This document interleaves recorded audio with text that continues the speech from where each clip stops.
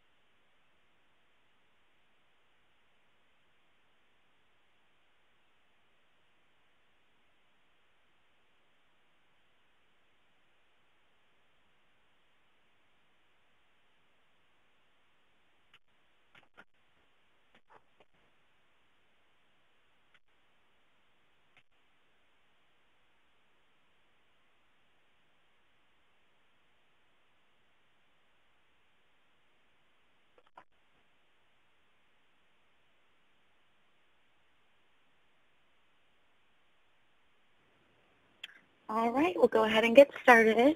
Hi, everyone, and welcome to today's WWT webinar on application ingress automation with F5 in an OpenShift environment. I'm your host, Maggie Schmidt on Global Partner Alliance here at WWT. We want to encourage everyone to ask questions today by using the Ask a Question box to the right of the slides. Feel free to submit a question at any time during the presentation, and Tyler will do his best to address all of them following the webinar. And finally, in case there's something you, you miss or you have to drop, Today's session is being recorded, so all registrants will receive a link to the recording in one to two days. So with that, I'm going to hand it over to Tyler to introduce himself and kick things off. Hey everybody, and, and thanks Maggie. Um, thanks everybody for joining our webinar today on integrating F5 with OpenShift in a containerized environment. Uh, my name is Tyler Hatton. I'm a technical solutions architect at Worldwide Technology, primarily focused around network automation and application delivery controllers. And thanks again, everybody, for joining the webinar. To provide kind of a high-level agenda of, of what we're going to talk about today, it's really three primary things. And really, the, the first one is around providing really a refresher around OpenShift and Kubernetes, um, talking about the different terms, um, how it works underneath the covers, basically providing that 10,000-foot view of really you know, what is OpenShift? How does it work? So we can kind of even the playing field across everybody watching the webinar today. The second thing that we're going to talk about is really F5 and OpenShift. How can you take these two solutions that exist in really many enterprises today and really integrate them together to improve the overall security and scalability of the applications that you're running in these containerized environments using OpenShift. And then finally, what we're going to do is actually do a demo of this integration between F5 and OpenShift. Show a little bit of how it works, um, what are the different mechanics underneath the covers, and kind of show at a very high level how do you get this configured within your enterprise so hopefully you can apply it within your own environment. before, but before we kind of kick things off, one thing to really call out is there's really kind of a small twist to this webinar today. Um, we, we kind of have an interactive component. So everything that I do in the demo environment is actually within our WWT platform. And what's really cool is with this webinar, what you can do is basically go to this site, register an account, and you can launch an on-demand lab that coincides with the demo that I'm going to show. So everything that I show in the demo, all the configurations that I make, you can do the exact same thing in your own on-demand environment instantiated on our website. So take a look at this website, wwt.com. We'll talk a little bit later about how you can get direct access to the lab, but register an account for right now, and you get access to this lab that we're going to do a demo around a little bit later today.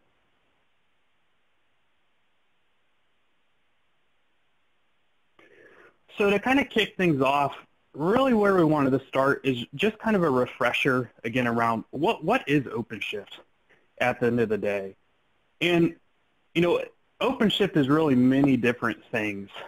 Um, but at its core, what OpenShift is, it's a container orchestration platform really built on top of Kubernetes, built for the enterprise. But really, what, is, what does that mean? For the folks who are, who are kind of familiar with Kubernetes, when you install native Kubernetes, it's kind of a complex process. Um, it's not very kind of user-friendly. There's a lot of decisions that you have to make, especially if you're looking to expose that Kubernetes environment to kind of an enterprise space. Um, there's a lot of questions around security hardening. You know, how do we set up networking with this in the, within this environment? And what OpenShift really gives you is kind of an, an out-of-the-box Kubernetes environment that has been security hardened. It's been vetted to run in an enterprise environment and provide some core tools that really make the process of migrating applications from outside of your OpenShift environment or outside of your Kubernetes environment to these different containerized environments that exist within OpenShift specifically. And when we talk about Kubernetes today, in, in OpenShift, there's really two key terms that you should know. Um, the, the first one is basically a node. And when we talk about nodes within OpenShift, and the same thing applies to Kubernetes, there's very similar terms between Kubernetes and OpenShift with some small differences, which I'll make sure to bring up during this presentation. But when you talk about nodes during OpenShift, really this is the underlying compute that supports your cluster. So this could be a, a virtual machine, it could be bare metal hardware, um, whatever's supplying that compute for that cluster, that's going to represent the nodes within, within the OpenShift environment. And then the second important term to know is basically a pod. And what a pod gives you is, is really that environment where your container is going to run. Um, a pod is basically one or more closely related containers deployed to a single host. In many cases, really a pod is just a single containerized application.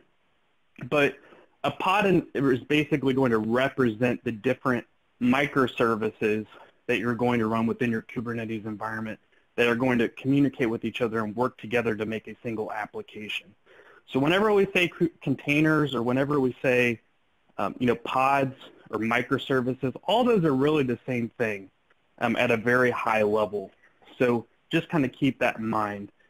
And the way that all this comes together is basically your pods or your containers are going to run on top of these nodes. And the job that, that Kubernetes and the job that OpenShift performs within this environment is it's basically going to schedule these, these jobs or these pods, these compute workloads across the different nodes that are part of your cluster.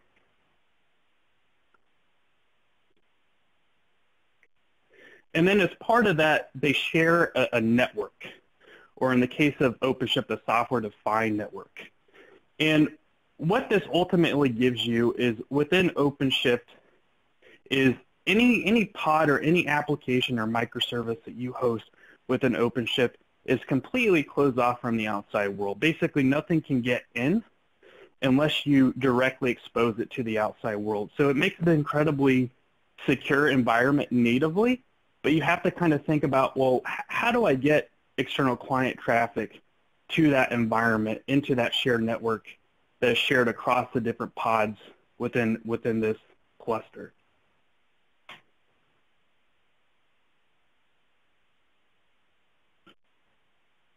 And that's where something like a, a, router really comes into play. So the, the way to think of a router within, within OpenShift and in, in Kubernetes it's called an ingress is really it serves as the front door into your, your cluster that hosts these different containers. It, it serves as a means of an external client to basically access the different applications that are going to be deployed to this OpenShift cluster. And the way that it does that is basically through a system of routes. So in the case of OpenShift, it routes traffic to different applications will be through this route system where each route will represent basically a host name. So in this case, if you look here, it says shop.apps.wwt.com. That will map to a route. And your client will basically send that as part of a web request to your router. And based on that host name header that's being sent as part of the HTTP request, the router will know which pod or which service to point your your request or point to that, that client's request to as part of this cluster. So in this case, maybe it will point to that top node at the very top. But what happens if something goes wrong and maybe that node goes down? Well, the router's smart enough to know to point to maybe the, the, the next node available that has available services that, that host the application that that route is pointed to. And that's basically that that router is going to do as part of that. Is it also basically manages the, the state or it looks at, you know, of the different available pods or replicas of the pod that are available for this application, where should I point this traffic to? Basically act, acting as a load balancer as part of this configuration.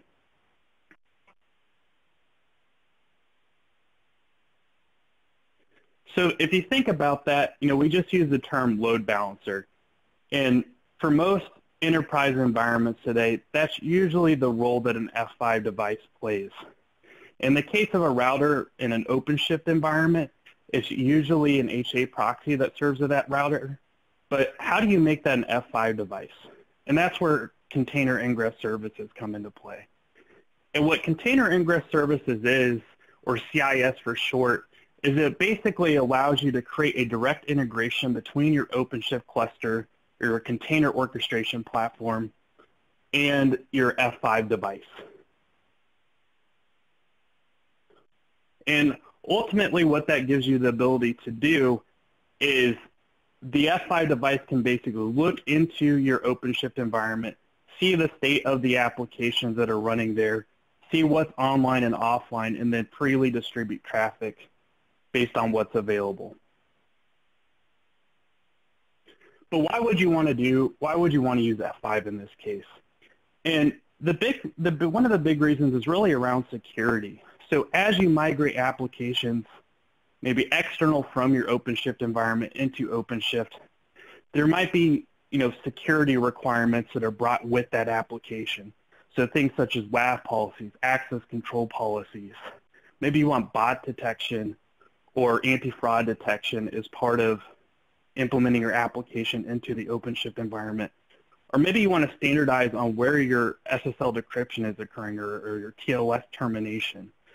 What the F5 device really gives you is as you migrate your applications from outside of your OpenShift environment into it, into that containerized solution, it gives you the ability to really standardize in, in your policies that are being applied, where from a dependency standpoint, nothing about the, the policies that are being applied to the application change.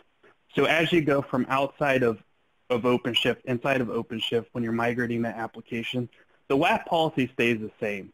The way that you're doing TLS termination stays the same.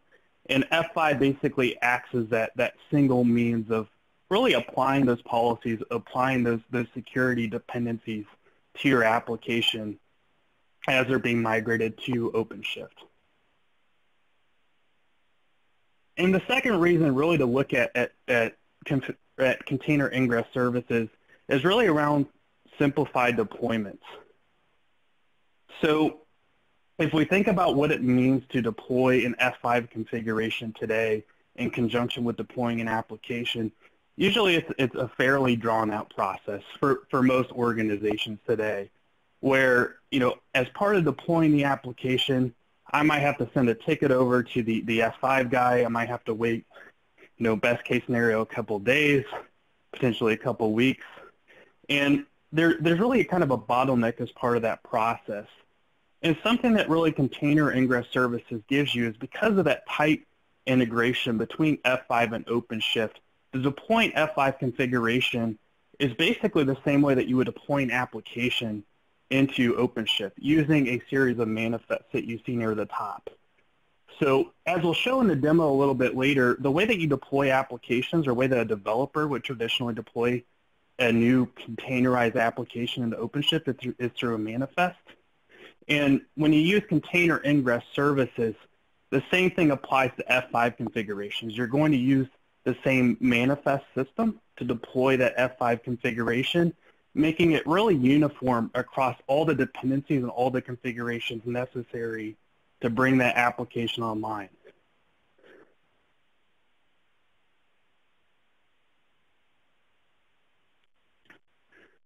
And ultimately what that means is you're, you're really creating flow. So if you think about really the three ways of DevOps, you're increasing flow in what it means to deploy an F5 configuration to bring that application online.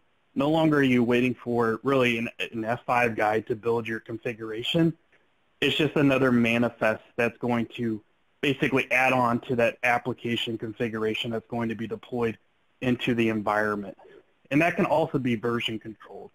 So really, if you think about these manifests, they're really just a form of infrastructure as code where the state of the application, its dependencies, whether that's storage, load balancing, networking, all those dependencies will be contained within that manifest, and they will all be deployed at the same time, basically simplifying, again, that, that deployment process.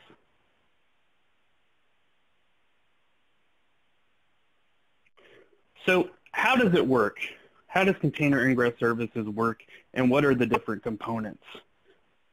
And the first component of CIS is really the, the VXLAN tunnel. And if you look at the OpenShift cluster and where a big IP device typically sit within a network, there are really two isolated units within that network, or two isolated hosts or groups of hosts. And what the VXLAN tunnel really gives you is the ability for that big IP device to communicate into that closed off network or software defined network that exists within the OpenShift cluster. It gives the F5 device a way of really looking into the, the OpenShift cluster and seeing the individual microservices or pods that are running in there and looking at the health of those pods so it can successfully load balance traffic and most efficiently send traffic to those pods. The second component that's required is this thing known as a big IP controller. And really what the big IP controller is, is, and this is specific to container ingress services, but what the big IP controller does is it serves as a means of monitoring your OpenShift environment. So as pods get spun up and spun down on these, these different hosts that exist within the cluster, what the big IP controller is going to do is basically watch for that and update the configurations on your big IP device. So let's say, for example, earlier we had mentioned, you know, what happens if, you know, for example, as part of this two-node cluster, one of the nodes goes down. What the big IP controller will do is it will see that one of those nodes has gone down and update the, the pool that exists on the big IP device in real time to reflect that change that happened within the cluster. Or let's say, for example, you know, maybe I'm scaling out. Maybe I'm spinning up multiple replicas of my pod. So instead of, you know, one or two, maybe I want to run four. The big IP controller will basically update the configuration to, to basically reference that change. And that's really what the big IP controller really serves as. It's, it's a pod that runs within the OpenShift cluster next to you really other pods that exist in there. and just monitors the state of the environment and makes changes to your big IP device as changes occur.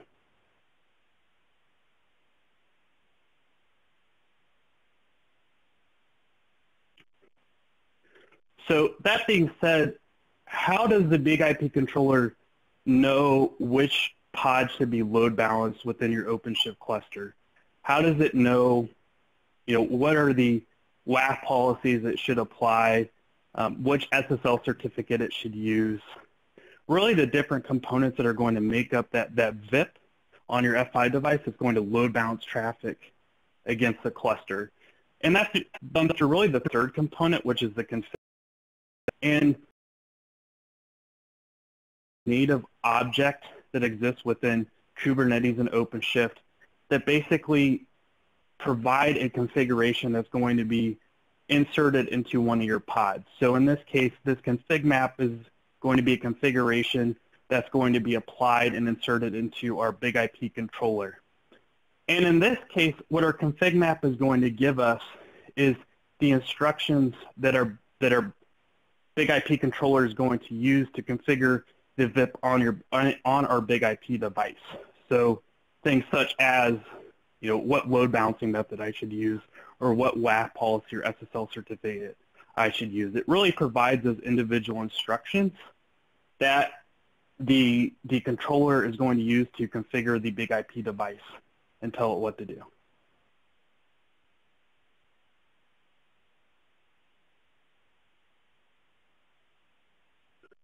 So let's take a demo. Let's take a look at a demo of this. What does this look like when it's applied into a real environment. And what we're going to do is in a second, I'm going to share my screen. And we're going to look at this lab environment that's, again, available through our wwt.com site. And what we're going to walk through is really the configuration process of setting up those three different components, setting up the VXLAN tunnel to get connectivity between the big IP and OpenShift, the deployment of the big IP controller, so that, that pod that basically monitors the state of our OpenShift cluster and performs configurations on the big IP device. And then finally, we'll go through the actual deployment of the, the, uh, the config map that defines the configurations that are going to be applied to our big IP device. So if I shoot right over, there we go. So as the diagram showed, the way that our environment is set up today is we have several different things set up here. So we have a, a big IPVE, which is basically going to be our, our front door into our OpenShift environment. We're going to load balance traffic from our VE to the different applications that exist within our OpenShift cluster. And then we have this OpenShift cluster at the bottom, which is hosting several different microservices within it. But in this case, what we have deployed inside of it is an application called BookInfo, which is a basic demo application that can be deployed to any Kubernetes environment. And what we're going to do is basically set up a VIP that sends traffic using this VXLAN tunnel to this pod called the product page pod. And this is going to be a, a microservice that will basically serve as the GUI front end of this BookInfo application. So if we look at our environment, we have several different components. We have our OpenShift console right here that shows the different applications deployed. So here's our product page application, our microservice. We have our big IP device. So I'm going to log into this real quick. And if I take a look at the configurations, this is a completely blank device. So there's, there's no configurations on here, which serves as a great demo environment as I create these configurations in real time.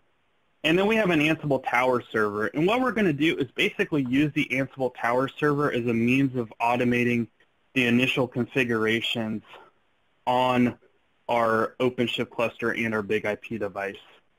So I'm going to log into here, and we're going to use a playbook within Ansible to do this. So I'll go to templates, and we have this one called CIS setup. And what this is going to do is it's going to pull down a, a playbook behind the scenes that is going to go through the initial steps of configuring the OpenShift cluster and that big IP device. So if you look right here, It's going to create a partition. It's going to create the tunnel um, on the big IP device. It's going to create the self IP within tunnel, install AS3, but it's going to go through all these dependencies in an automated fashion where then we get some type of result. And the big thing to really call out is everything within this playbook we're going to provide at the end of the presentation. So this is kind of the code that's being used behind the scenes. But this, what this playbook really gives us is a mechanism of really streamlining this process and making the the the means of of deploying this CIS um, setup or architecture a lot faster for us, so I don't have to do it manually right here. So we have the CIS components deployed.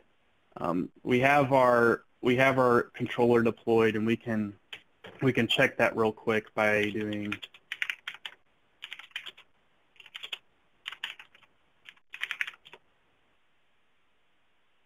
so looks like we're good. And then the next step that we're going to do is basically deploy the actual config map as part of this configuration. So I'm going to open up Visual Studio Code right here. And what we have opened up on the side is the manifests that make up our book info application. And whenever you deploy something into an OpenShift or Kubernetes environment, the way that you do that is really through a series of manifests. So for example, for our product page microservice that we have deployed, the way that that's being deployed is through this product page.yaml file.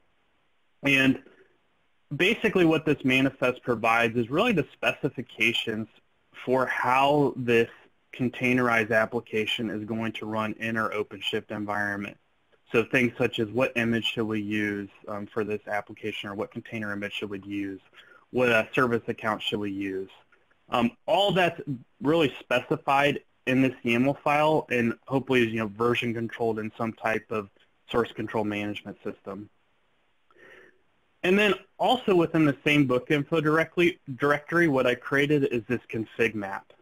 And this is going to be the configuration that I'm going to apply to my big IP controller to tell it what configurations it needs to make to my big IP device or to my virtual big IP device within this demo environment. And if we look at this config map, it's really made up of, of a couple different pieces. At the very top, we have this thing that's called kind, which basically, basically tells OpenShift what type of configuration is going to be applied. We have some metadata that define you the name, of the configuration some labels that basically say what type of configuration do I want to apply. In this case, I want to make a virtual server. And then I have this AS3 true flag right here. And there's multiple different ways that you can basically provide information to that big IP controller to tell it how to control the big IP device. But one of the ways that you can do that is through what's called an AS3 declaration. And for those who are kind of unfamiliar with F5 AS3, what AS3 gives you is basically a, a declarative API for basically creating all the configurations that are associated with an application and storing them into a single payload. So if we look right here, what we see is actually the, the, the contents of the AS3 payload that the big IP controller is going to send to the big IP device.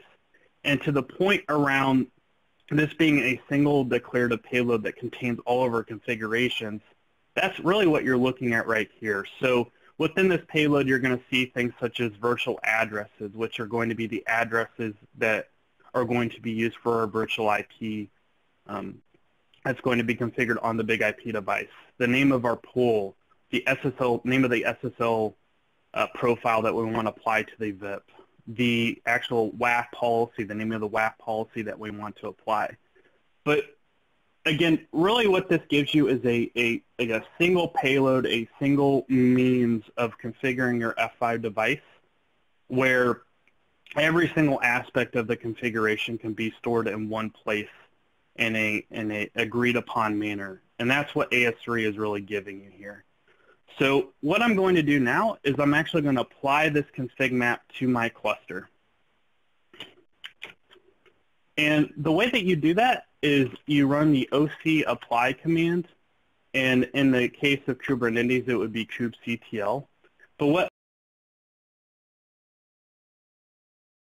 I have in the book info directory and basically apply it to my cluster. So over in OC apply, I'm going to do a dash F and then the name of the manifest file or the path to the manifest file. And I'm going to get a notification basically telling me that this configuration has been created.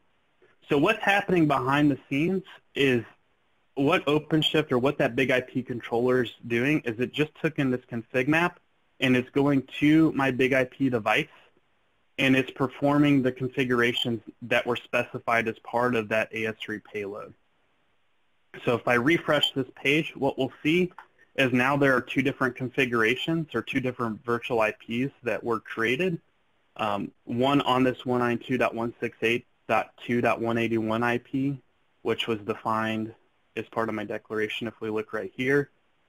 And that's running over HTTPS. And then we want have one running over HTTP. And one of the cool things about AS3 is it has some templatization functionality, or let's say, for example, I want to create that HTTPS VIP. It knows automatically to create the port 80 or HTTP redirect behind the scenes to, to redirect all HTTP traffic to HTTPS.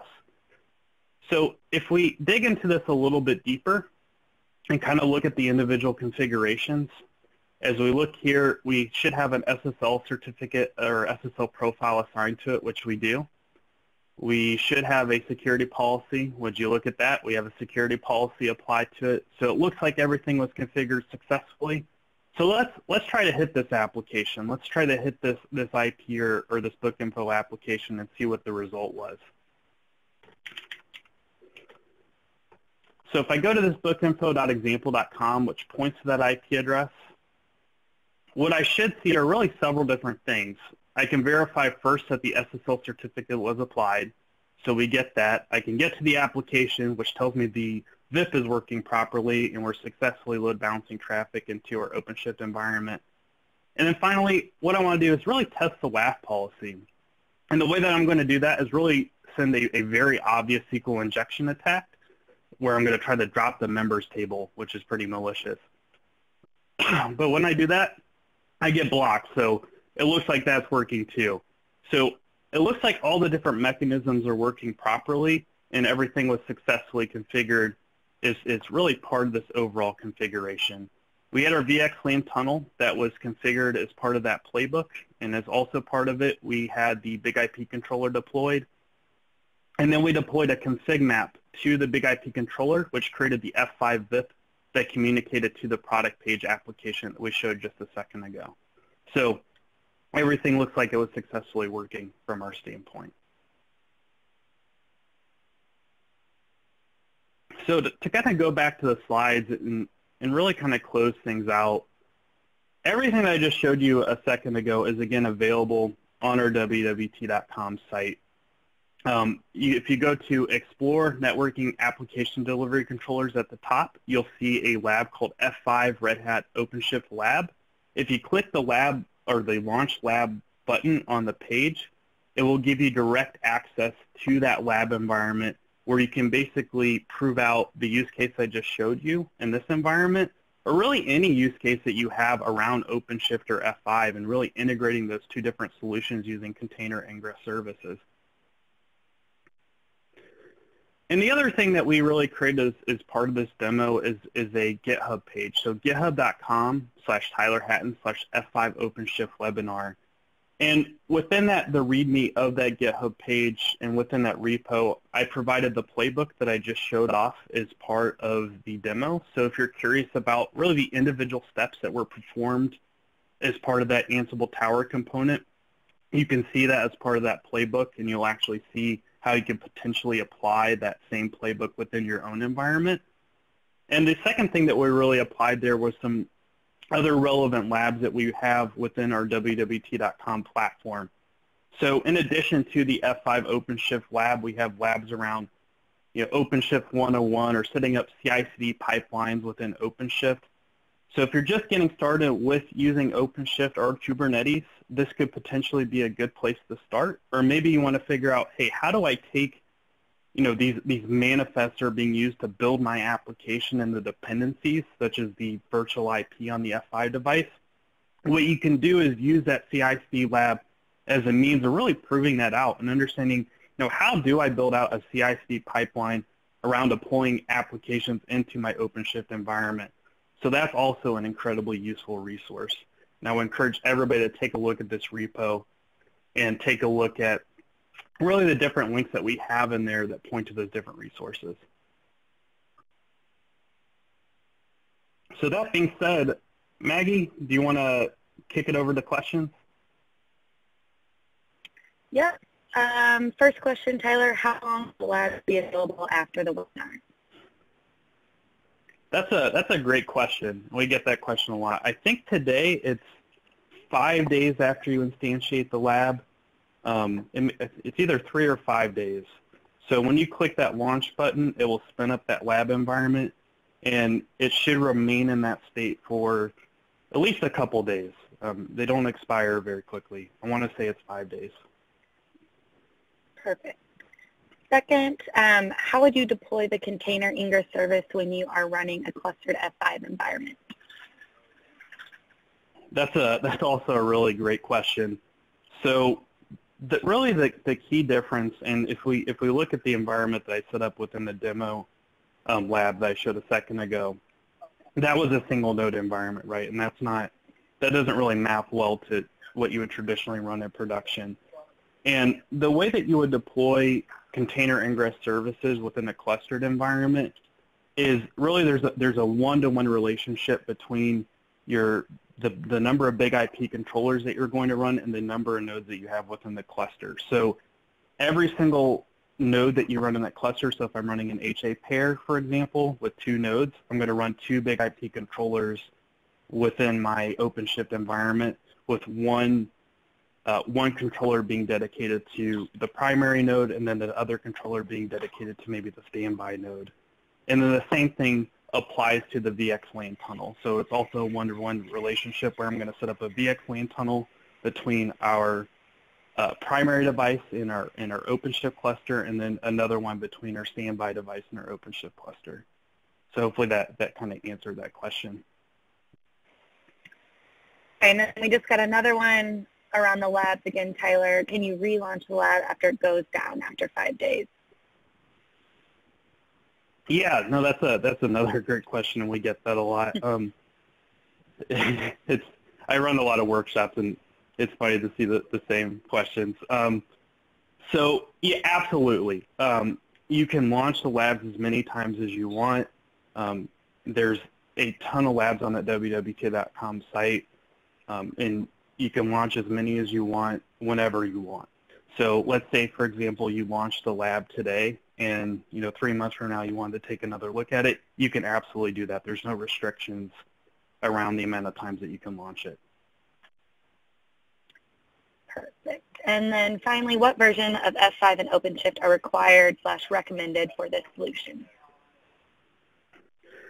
So I I know in the case of of, so when we're using AS3 in this case, I don't think AS3 is supported until 12.1, um, until you can install that package. In this demo, I think we're running, I can look real quick. I think we're running 13 as the major version. Um, if, if I remember correctly, looking at the documentation, I want to say that it can run on 11, potentially 11.5. Um, not trying to guess at the question, but yeah, I, I, I know for sure it will run on 12.1, which is the dependency for that AS3 package that, that um, you need in order to kind of configure more complex configurations on the device. As for OpenShift, I know for the demo we're running it on 3.11. Um, I don't know what's the minimum requirement. My guess is that's within the, the container ingress services documentation. Um, so F5 has some pretty detailed documentation around the integration that um, is, is freely available that gives you should give you the information you need to identify the minimum versions needed to run this integration.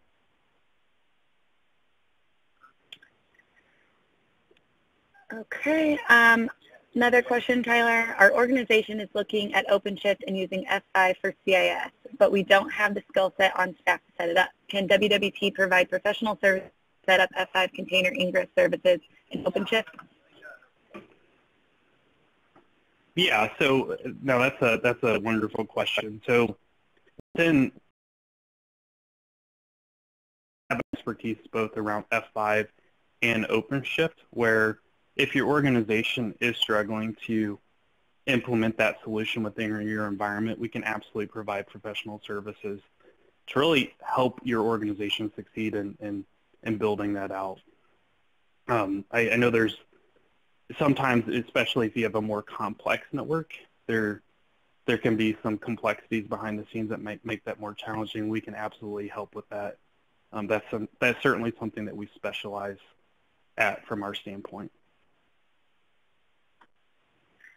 Great. Um, how can other proprietary processes like LTM, VIP, and procurement and SSL certificate procurement be automated? Any best practices around the same question?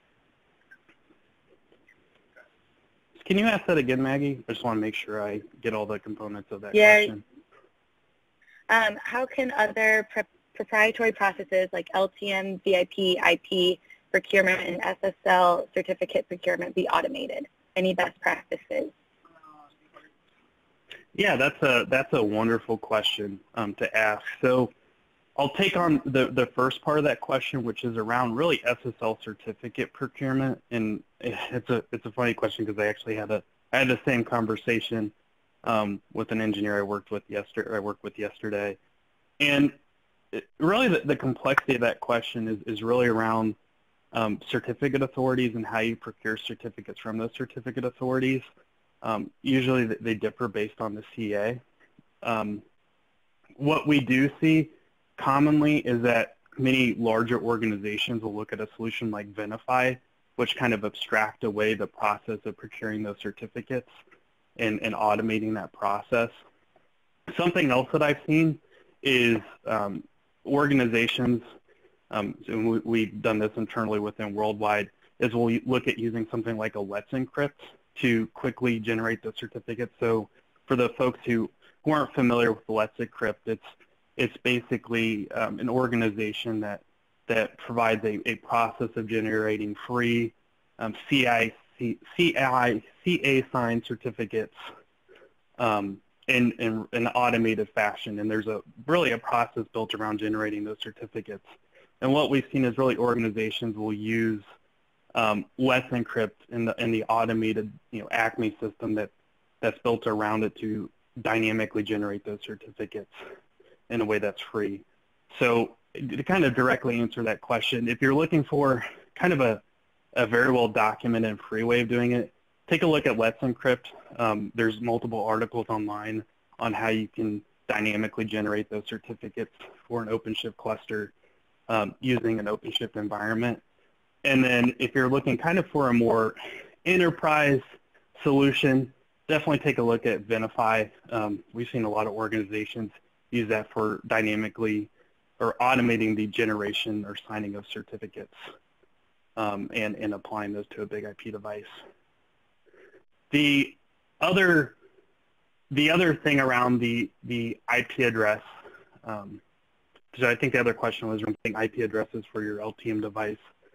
There's really multiple different ways that you could do that. Um, one way that you could do that is really around making IP provisioning as part of your initial build process for when you generate the, the manifest or the config map that's going to be applied to create the VIP.